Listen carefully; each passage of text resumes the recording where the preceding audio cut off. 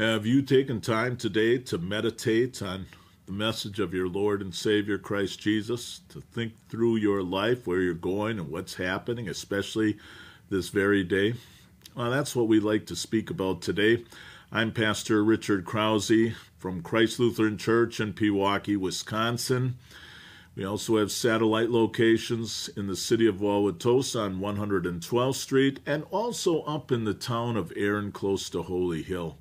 We're going to be looking at a section taken today from the Gospel of Mark, chapter 1, verses 35 to 39. This is what we read there. Very early in the morning, while it was still dark, Jesus got up, left the house, and went off to a solitary place where he prayed. Simon and his companions went to look for him. And when they found him, they exclaimed, Everyone is looking for you. Jesus replied, let us go somewhere else, to the nearby villages, so I can preach there also. That is why I have come. So he traveled throughout Galilee, preaching in their synagogues and driving out demons.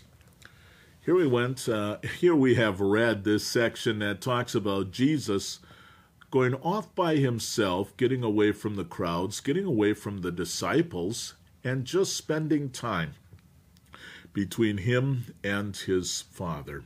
He gets up while it is still dark, while others are still sleeping, no doubt, and he goes to a solitary place, and there he prays.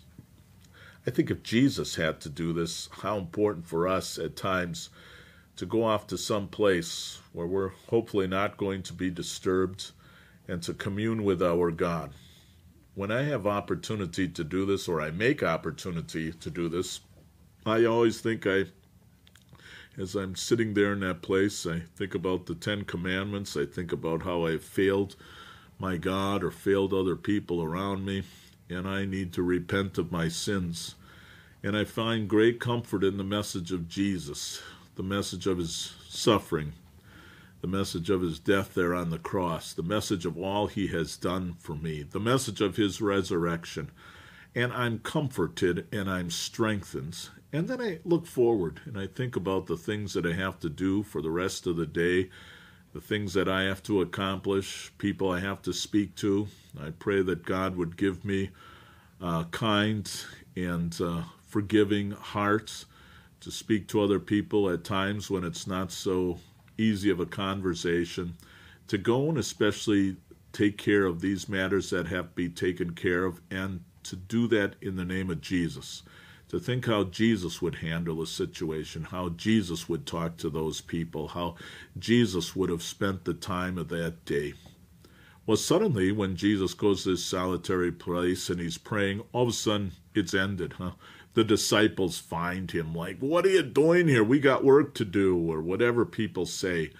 And isn't that the way it is, too? Sometimes we go off to a solitary place, but there's always the tyranny of our agenda. There's always the things that have to get done, or maybe the children run and they uh, uh, they speak to us when we're not ready to be spoken to. Or our husband or our spouse comes and everything changes.